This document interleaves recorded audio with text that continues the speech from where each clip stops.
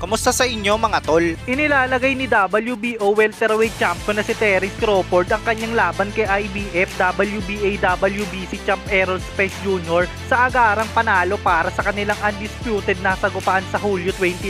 Si Crawford ay nakakatiyak na mayroong higit na sapat na kakayahan upang magawa ang trabaho laban kay Spence pagkatapos pag-aralan ang galaw ni Spence sa kanyang mga laban sa loob ng maraming taon.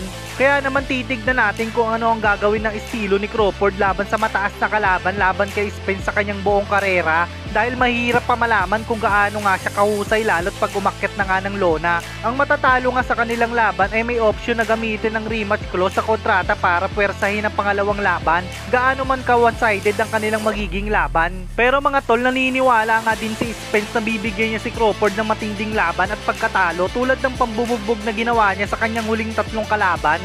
Para sa akin mga tol, kung tatayo nga si Crawford sa harap ni Spence at lalabanan ito ng sabayan, maaari nga siyang mabugbog ng gusto at matalo dahil si Spence ay napakalakas para sa ganong estilo at mapanganib.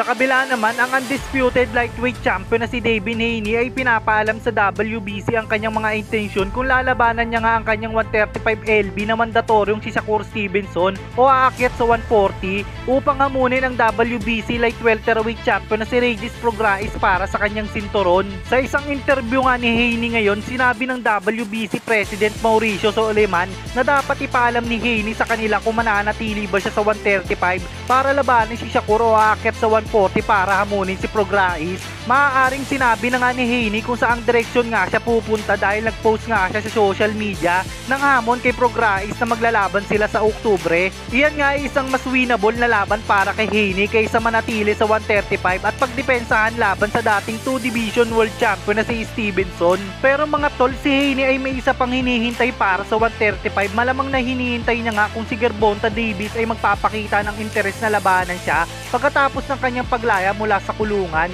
Sa tingin ko din hindi nga mangyayari dahil nagpasya na nga ngayon si David Haney na umakyat sa 140 upang hamunin ng Prograis para sa kanyang titulo sa WBC at walang sagot si Tank para sa mga hamon niya.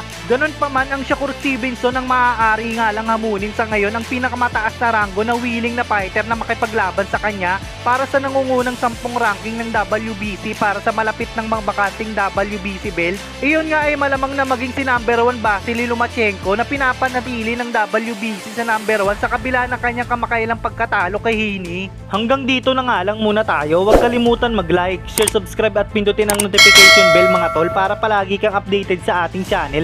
Maraming salamat po.